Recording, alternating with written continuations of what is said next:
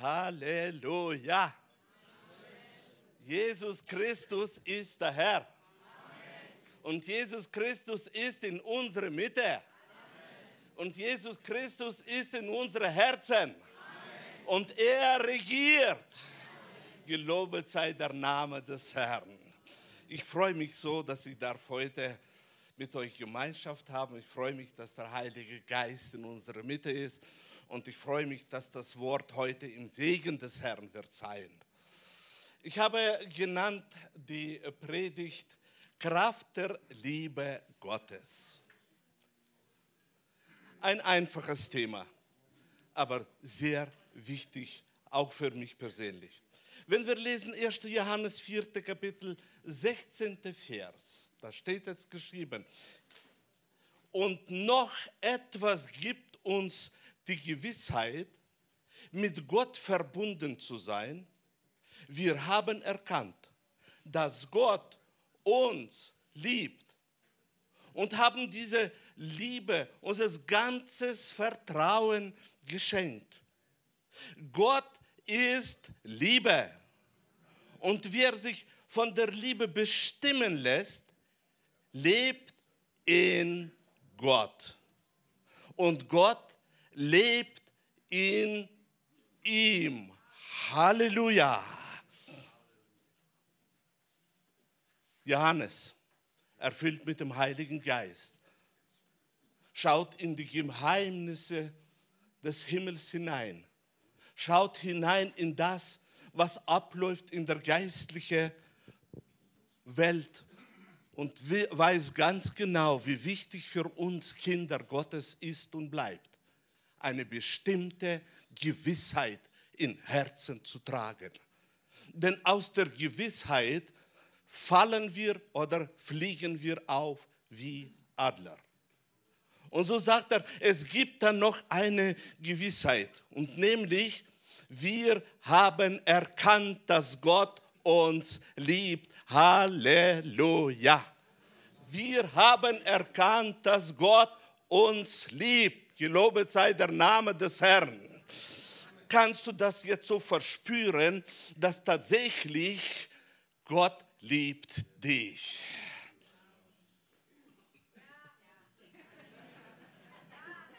Gott liebt dich. Halleluja, wunderbar. Und was sagt Johannes? Und wir haben dieser Liebe unser ganzes Vertrauen geschenkt. Er sagt nicht, ich habe dieser Liebe. Er sagt, wir haben. Er hat sich berufen auf das vollbrachte Werk Jesu Christi, auf das, dass durch das Werk Jesu Christi etwas in uns hineingepflanzt ist durch die Geburt. Dadurch, dass wir neu geboren sind, ist etwas hineingepflanzt in uns. Und das lebt in uns. Und darum sagt er, und wir haben erkannt, wir haben es erkannt. Es liegt in uns dieses Wissen durch die Neugeburt. Und das ist wichtig, meine Brüder und Schwestern, dass wir können sehen, dass wir vom Himmel bekommen haben, dadurch, dass wir neue Schöpfung sind, haben wir Erkenntnis bekommen. Es gibt Erkenntnis, die wir durch Geburt bekommen haben. Es gibt Erkenntnis, wo Jesus hat gesagt, erkennet die Wahrheit und die Wahrheit wird euch frei machen. Aber diese Wahrheit haben wir in uns. Wir haben erkannt. Es lebt in uns. Es lebt in uns. Gott liebt uns. Halleluja. Halleluja. Freust du dich? Freust du dich? Gott liebt uns. Und wir haben Vertrauen geschenkt. Wir vertrauen dieser Liebe. Sie ist treu, diese Liebe. Diese Liebe wirkt. Sie versagt nie. Das ist die Liebe des Vaters zu seinen geborenen Kindern. Und dann kommt diese starke Aussage, die mich begeistert. Eine Gott ist Liebe und wer sich von der Liebe bestimmen lässt, lebt in Gott. Die Frage, wo ich jetzt möchte stellen dir persönlich, ist diese Überzeugung oder hast du diese Liebe Gottes, Überzeugung geschenkt? Ist diese Überzeugung bei dir, dass Gott lebt in dir? Warum lebt er? Weil er ist Liebe. Und diese Liebe, diese Liebe ist in dir drin. Und wenn wir uns dieser Liebe widmen, dann auf einmal ist Gott in uns. Halleluja. Können wir alle gemeinsam voller Überzeugung sagen, Gott ist in mir. Gott ist in mir. Und, und jetzt noch einmal voller Freude, aber bitte alle, ja. Gott ist in mir. Halleluja. Warum ist er in mir? Weil er Liebe ist. Und die Liebe Gottes ist ausgegossen in dein Herz, in mein Herz durch den Heiligen Geist. Und wir haben diese Liebe. Halleluja. Und dafür sollen wir danken. Da sollen wir uns freuen. Da sollen wir leben in dieser Liebe. Denn, meine Brüder und Schwestern, Gott ist Liebe. Und da, wo er ist, da ist immer auch, sind die Gedanken der Liebe, sind Worte der Liebe. Er ist am Wirken. Und dann sagt er,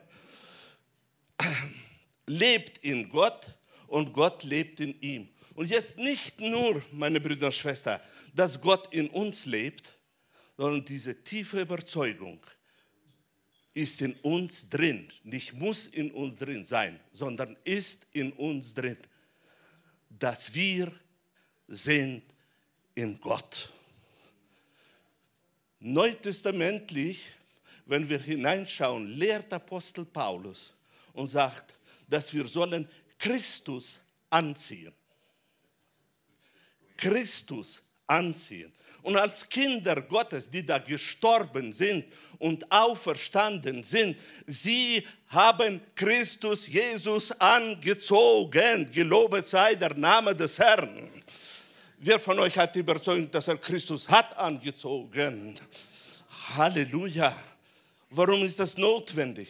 Damit wir in dieser Überzeugung auch wandeln können, dass nicht nur Gott in uns ist, sondern dass wir in Gott auch drin sind, weil die Liebe in uns ist. Gelobet sei der Name des Herrn.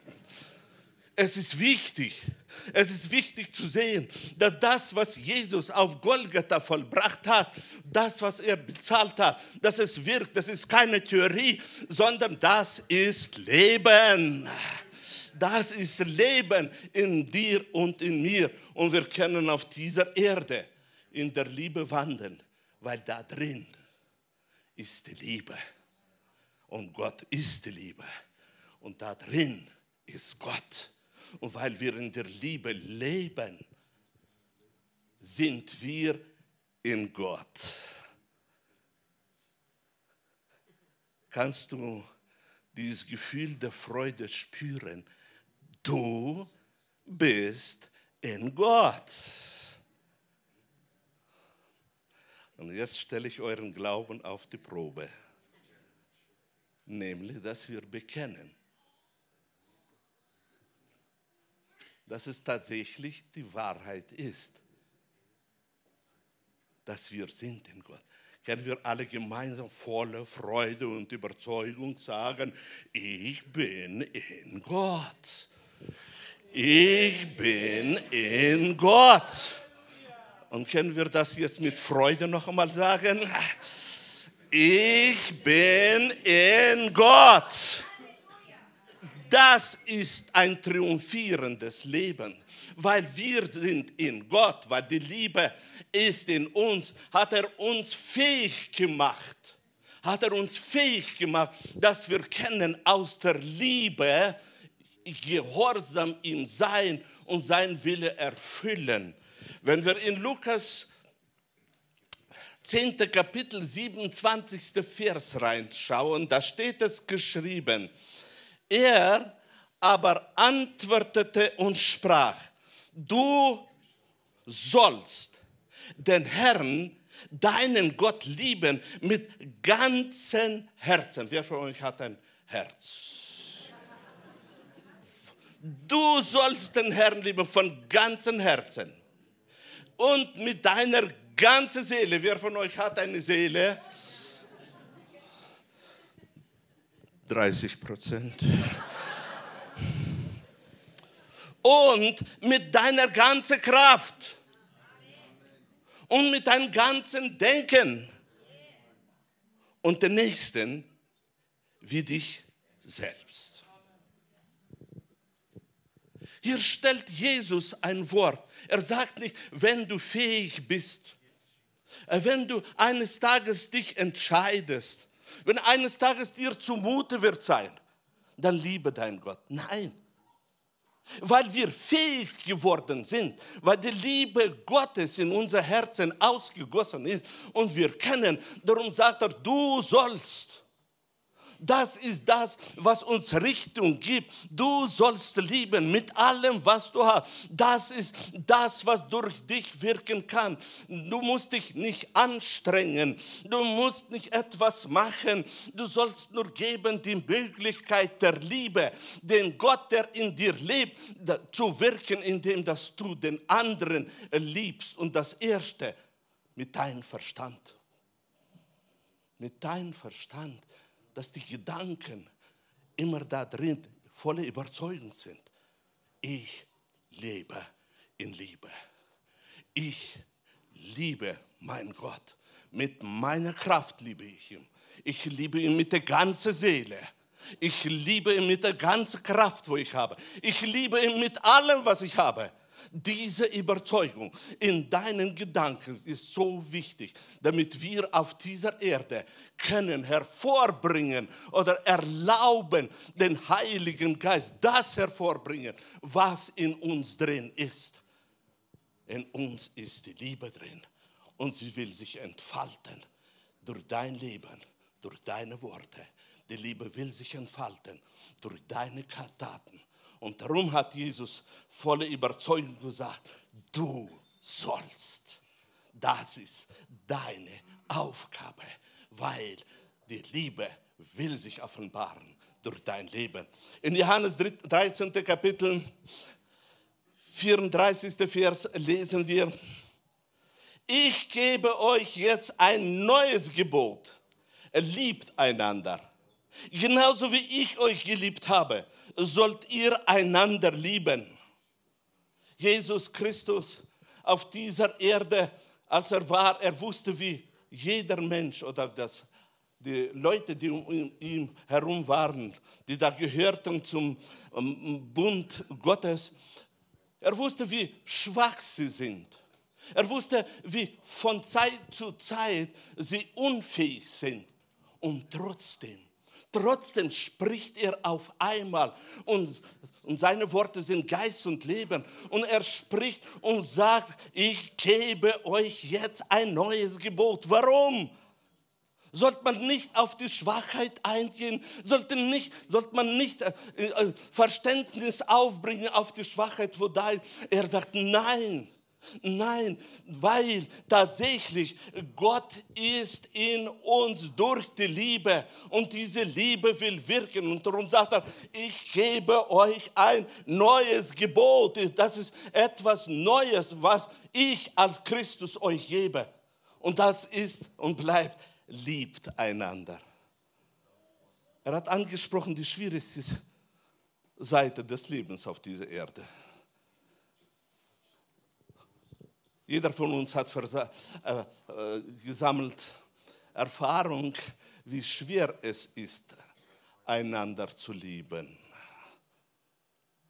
Wie nicht einfach es ist, einander zu lieben.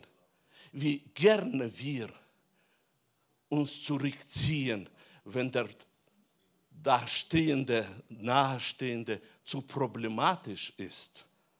Und weil das so ist, und weil wir leben in, unserem Ge in unserem Geiste, in unserem inneren Menschen lebt die Liebe und sie will sich entfalten durch uns. Darum sagt Jesus, ich gebe euch ein neues Gebot.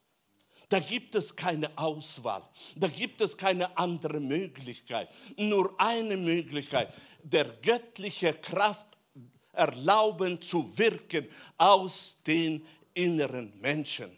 Und darum ist dieses Gebot mir und dir gegeben, damit wir richtig wachsen, richtig uns entfalten und verändern die Umgebung um uns herum in das Göttliche, in das, was Liebe genannt wird. Du hast eine große Aufgabe, in dir wachsen zu lassen, um gehorsam zu sein in dem neuen Gebot, wo Jesus gegeben hat. Und ich möchte euch ermutigen, geht mit diesem Gebot sehr vorsichtig um. Lasst dieses Gebot nicht links liegen. Es ist notwendig, ich bin hier, es ist notwendig, dass wir auf dieser Erde genau wissen, nur wenn wir in diesem Gebot leben, auf einmal verändert sich alles in unserer Umgebung. Auf einmal wirkt die Herrlichkeit Gottes. Auf einmal, meine Brüder und Schwestern, sehen wir, weil wir lieben, sehen wir alles ganz anders. Unsere Sicht verändert sich. Wenn wir uns konzentrieren, in der Liebe zu leben, dann ändern sich auch unsere Augen, ändern sich unsere Gedanken. Das ganze Leben wird auf einmal anders, weil wir in dem Bereich der Liebe sind. Und der Bereich der Liebe ist ganz anderer Bereich wie der Bereich der Aufgaben, wie der Bereich der Fürsorge, egal, wichtig ist, dass wir uns bewegen in diesem Bereich der Liebe.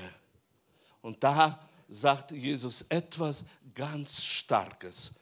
Ich möchte eure Aufmerksamkeit auf das lenken. Liebt einander genauso, wie ich euch geliebt habe. Was für ein Vertrauen an uns. Was für ein Vertrauen, dass wir können das machen. Er sagt genauso wie ich. Warum? weil er weiß ganz genau, wenn wir haben den Heiligen Geist, dann macht er uns fähig. Er ist unsere Kraft. Wenn wir haben den Heiligen Geist, dann macht er uns fähig, dass wir können genau so lieben, wie Jesus Christus geliebt hat. Halleluja. Amen. Halleluja. Glaubt mir, meine Brüder und Schwestern, dass der, der in uns drin ist, ist so fähig. Und wenn wir erlauben, ihm sich zu entfalten durch uns, auf einmal leben wir in ganz anderen Bereich. Auf einmal leben wir im Reiche Gottes. Und das Reich Gottes ist Friede. Das Reich Gottes ist Gerechtigkeit. Das Reich Gottes ist Freude im Heiligen Geist. Das kommt zustande, weil er hat das uns gesagt, dass wir sollen genauso lieben, wie er uns geliebt hat. Halleluja. Wer von euch möchte immer im Reich Gottes leben? Halleluja. Und wer von euch freut sich, dass er schon ist im Reich Gottes? Wunderbar, Halleluja.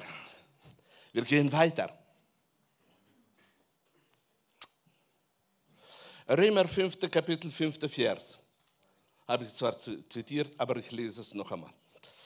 Hoffnung aber lässt nicht zu Schande werden, denn die Liebe Gottes ist ausgegossen in unsere Herzen durch den Heiligen Geist, der uns gegeben ist. Wer freut sich, dass er hat den Heiligen Geist? Wunderbar. Und wer von euch ist überzeugt, dass durch den Heiligen Geist, dass er nie versagt, dass durch den Heiligen Geist die Liebe Gottes ist ausgegossen in unser Herzen. Wunderbar. Es ist ausgegossen. Es ist vollbracht. Es ist vollbracht. Es ist vollbracht. Sie lebt in uns. Gelobet sei der Name des Herrn. Und darum wollen wir in dieser Liebe leben, wollen wir triumphieren, denken, wir wollen handeln, wir wollen uns voll hingeben, wir wollen vertrauen. Am Ende werden die gewinnen, die da lieben. Am Ende sind sie die Sieger, die da lieben. Epheser 3. Kapitel 17. Vers.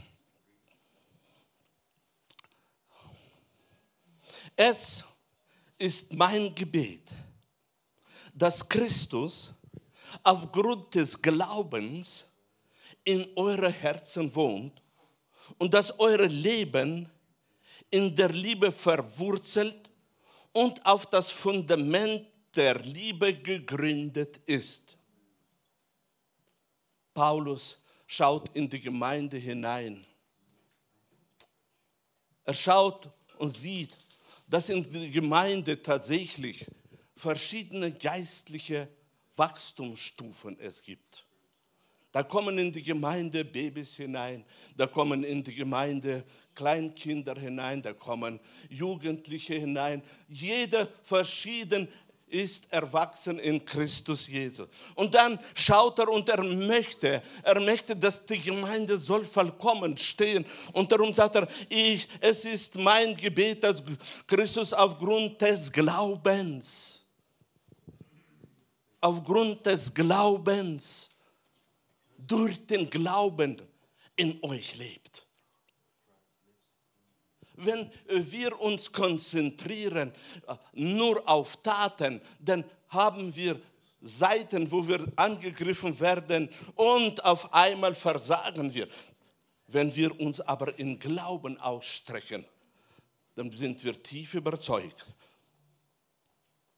dass die Liebe ist in uns. Und jetzt, und jetzt sagt er, dass diese Liebe soll verwurzelt werden. Könnt ihr nächste Folie machen?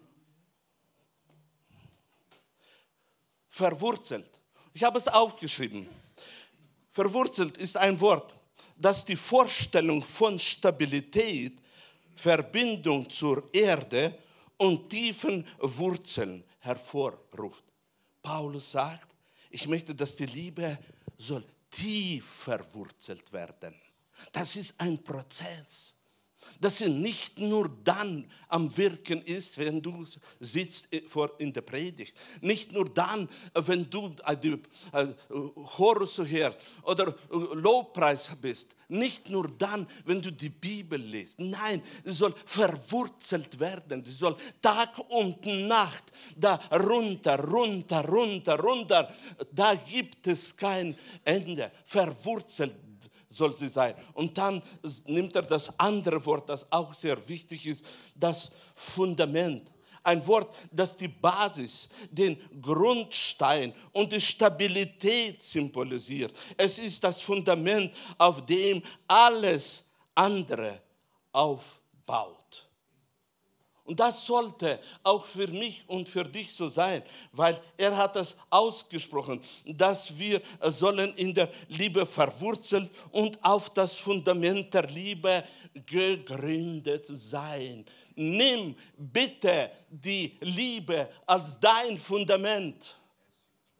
Nimm bitte die Liebe als dein Fundament das alles in Denken, das alles in Handeln, das alles mit Worten, was wir machen, soll aus diesem Fundament rauskommen. Und nämlich, dass Gott ist in mir, die Liebe ist in mir und alles, was aus meinem Munde rauskommt, ist Liebe zur Ehre Gottes.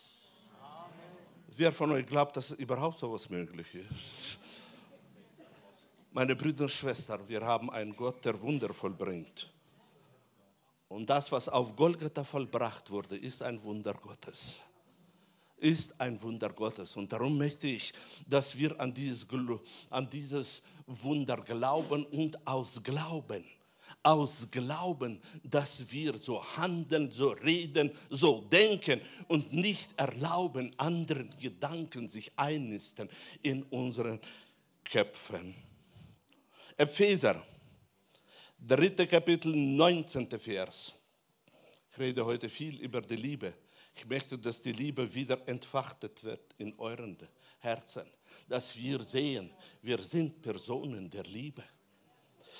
Epheser 3. Kapitel 19. Vers. Und da steht geschrieben, ja, ich bete darum, dass ihr seine Liebe versteht, die doch weit über alles Verstehen hinaus reicht. Und dass ihr auf dieser Weise mehr und mehr mit der ganzen Fülle des Lebens erfüllt werdet, das bei Gott zu finden ist. Das bei Gott zu finden ist. Apostel Paulus betet für die Gemeinde und er sieht, dass die, das Verständnis der Liebe so stark fehlt bei bestimmten Wachstumsstufen. Er sieht, wie notwendig und darum betet er, meine Brüder und Schwestern, diese Praxis im Leben zu entwickeln, dass wir füreinander beten, wenn wir sehen, dass die Entwicklung von einer oder den anderen im, Bereich der Liebe nicht so ist, ist so wichtig für uns. Dass wir nicht richten, sondern beten, dass die, das Verständnis und die Verwurzelung in der Liebe soll stattfinden. Und so betet auch Paulus dass sie sollen verstehen. Und dann sagt er, dass er mehr und mehr durch die Liebe zu ganzer Fülle des Lebens kommt. Das, was wir haben in Christus Jesus, oder mit anderen Worten, das Leben Christi in uns. Es ist wunderbar. Wir haben, nein, ich gehe mal von der anderen Seite. Jesus sprach eines Tages und hat gesprochen zu den Leuten, hat gesagt, ich bin gekommen zu denen, ich bin gekommen, dass ihr sollt Leben haben und Überfluss haben. Zu wem sprach Jesus? Er sprach zu denen, die da Leben hatten. Die hatten Leben. Aber er sagt dann, ich bin gekommen, dass sie sollen Leben haben. Das Neue Testament spricht von Leben in Christus, von Christi Leben in uns. Und darum ist es so wichtig, wenn ich dieses hier lese, ist so wichtig zu verstehen, dass das Leben, wo wir von den Eltern oder durch die Eltern bekommen haben, ist wunderbar. Es ist ein Teil äh, unserer Persönlichkeit. Aber da gibt es noch Leben Christi, das durch die Neugeburt in uns hineinkommt.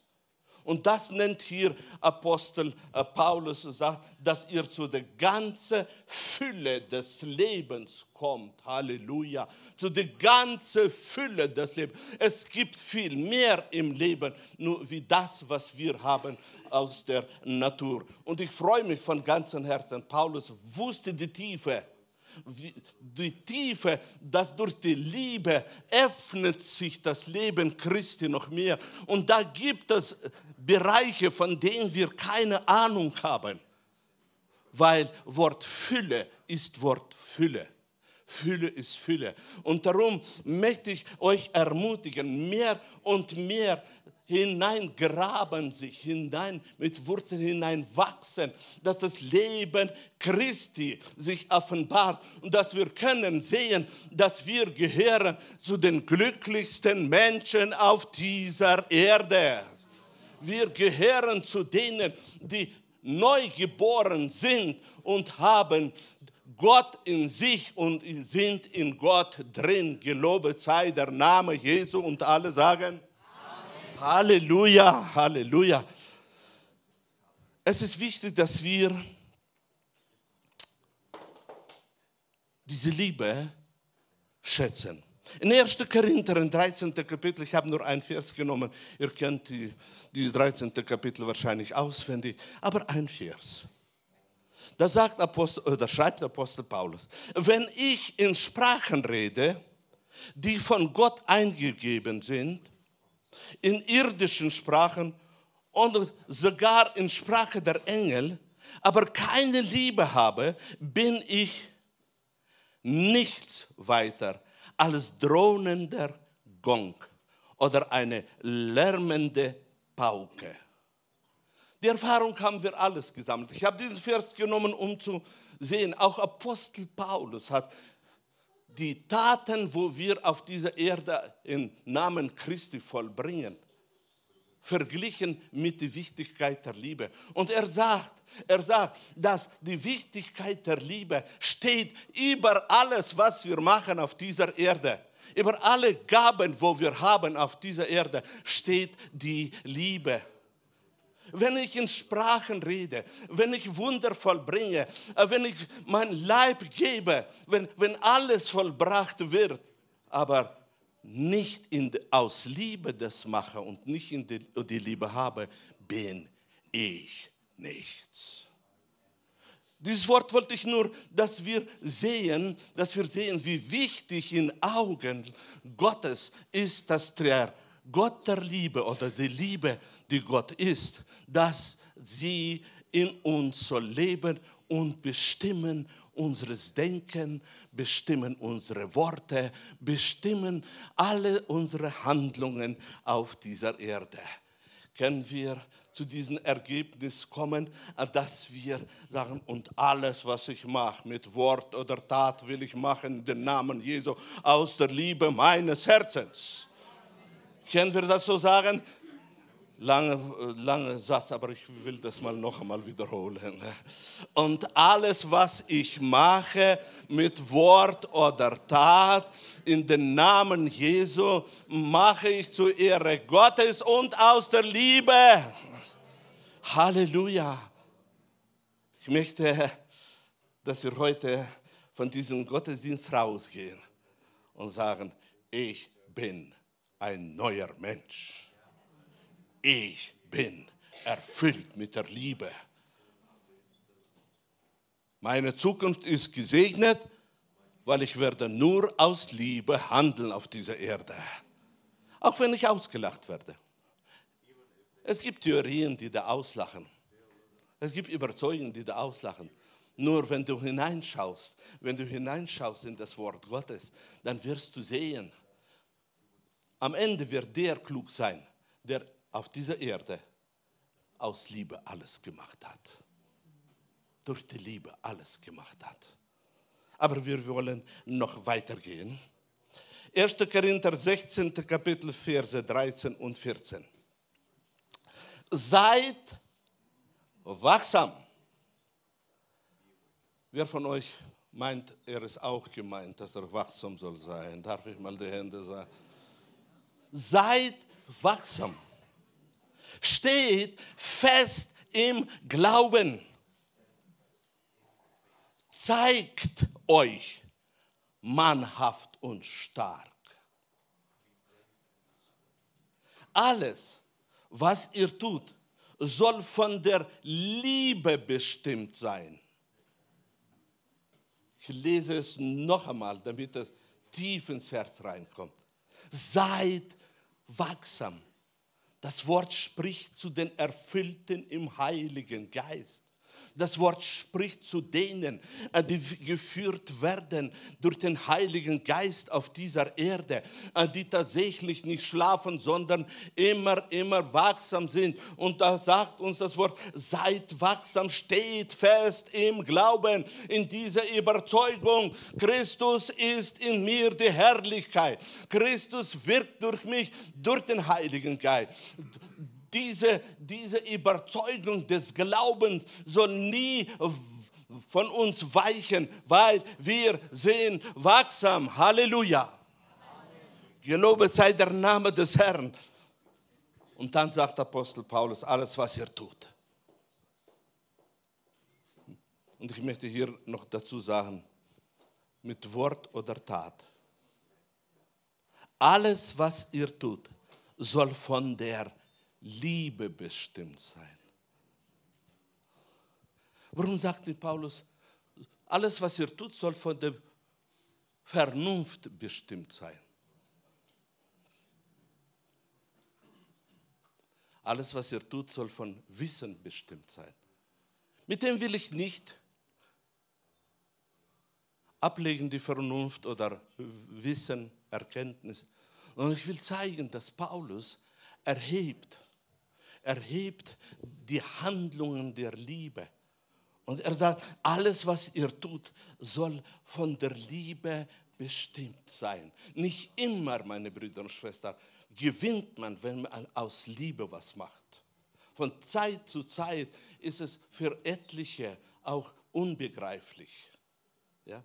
Und es kann auch falsch ausgelegt werden.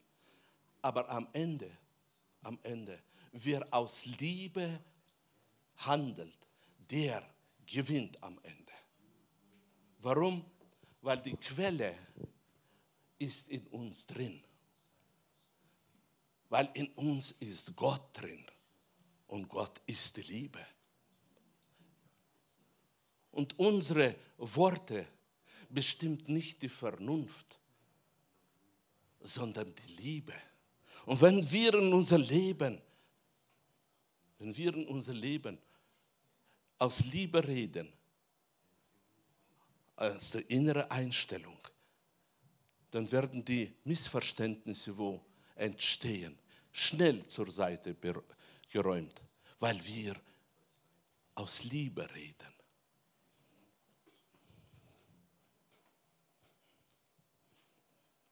Und ich komme zu meiner letzten Schriftstelle. 1. Thessalonicher, 3. Kapitel, 12. Vers. Wer von euch ist schon müde zu hören? Okay. Ich habe ein Nein gehört. 1. Thessalonicher 3, 12.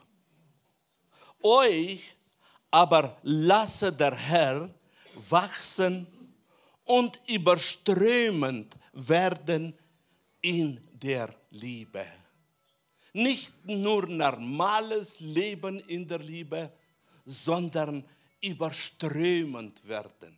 Wer von euch möchte überströmend werden in der Liebe, überströmend werden in der Liebe? Ich freue mich, ich auch.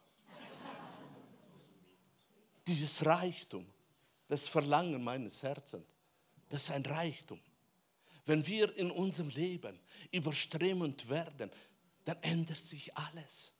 Da ändert sich unsere Sicht, da ändert sich alles. Auf einmal bekommt alles einen Sinn. Auf einmal kannst du auf dieser Erde rumgehen und du freust dich alles, was du siehst. Und du freust dich, dass du mit deinen Brüdern und Schwestern in der Gemeinde zusammen bist und, und, und, und du hast die beste Gemeinde und du hast die beste Familie und du hast das Beste. Warum? Weil die Liebe verändert die Sicht in allen Bereichen. Sie macht uns reich. Und Jesus hat gesagt, ich tue das noch einmal wiederholen. Ich bin gekommen, dass sie so ein Leben haben und Überfluss haben. Nicht nur, dass es reicht, sondern auch Überfluss. Jesus ist gut. Amen. Amen. Jesus möchte durch dich wirken. Jesus liebt dich. Hast du das gewusst? Ja. Halleluja. Ich komme zu Ende. Und ich möchte, dass wir jetzt in ein Dankgebet hineingehen. Dass wir wollen den Herrn danken, dass wir auf dieser Erde ein Los haben durch das Opfer Jesu, wo man kann sich erfreuen. Wir haben Gnade bekommen. Wir haben Gnade auf dieser Erde bekommen. Und ich möchte, dass wir ein Dankgebet. Und während wir ein Dankgebet werden sein, alle die, wo möchten, dass ab heute ihr Leben soll bestimmt werden von Liebe. Die Entscheidung, die ihr getroffen habt und die ihr möchtet, dass ich für euch bete, kommt dann während des Dankgebets nach vorne. Ich werde für alle die beten, die die Entscheidung getroffen haben. Ab heute will ich leben nur in der Liebe und durch die Liebe. Ich glaube an die Wunder Gottes. Wenn du nach vorne kommst, ist es eine Handlung des Glaubens dadurch, dass du gehst, handelst du im Glauben. Und Gott gibt Antworten auf den Glauben, wo du in deinem Herzen hast. Okay, ich bitte euch aufzustehen zu einem Dankgebet. Erhebe deine Hände, erhebe deine Stimme. Wir sind nicht auf einem Friedhof, wir sind in die Gemeinde der Lebendigen. Halleluja, Halleluja. Ich preise dich, ich lobe dich und gebe dir die Ehre. Vater, von ganzem Herzen preisen wir dich, von ganzem Herzen loben wir dich. Und danke, dass du uns diese Gnade geöffnet hast, dass wir dürfen, dass wir dürfen in diese Fähigkeit leben, dass wir äh, dürfen lieben, dass wir dürfen lieben mit unserem Verstand, mit unserem unserem Denken, mit unserer Seele, mit allem. Jesus, danke, danke, danke, danke. Ich preise dich, ich lobe dich und gebe dir die Ehre. Wir als Gemeinde, wir sagen, wir lieben dich, Jesus.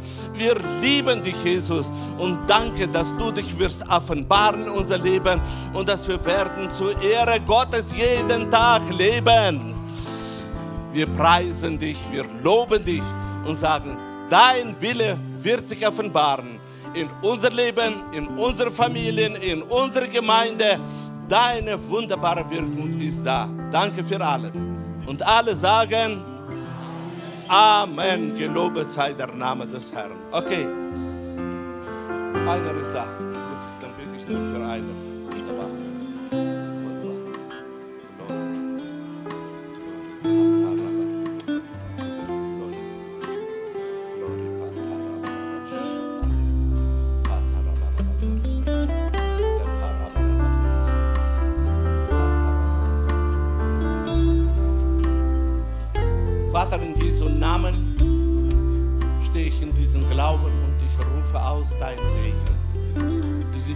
Entscheidung der Herzen. Du siehst die Entscheidung, wo getroffen sind. Und ich weiß, du offenbarst dich in deine Herrlichkeit. Und ich bin tief überzeugt, dass du bist am Wirken, weil du die Herzen kennst und du weißt alles, was da drin ist. Und dein Segen wirkt. Ich preise dich, ich lobe dich. Und ich danke dir von ganzem Herzen, dass jeder, der jetzt nach vorne herausgekommen ist, Vater, er wird gehen und sein Leben wird verändert werden, weil er wird täglich im Sieg leben, in der Liebe leben, zu deiner Ehre. Wir sind eine Gemeinde, die dich liebt. Wir sind eine Gemeinde, die dir treu ist. Eine Gemeinde, die dir nachfolgt. Und ich bin überzeugt, dass deine Wirkung wird da sein in jedem Herzen. Danke und segne ich euch in Jesu Namen. Der Herr sei mit euch. Der Herr offenbare sich in eurem Leben.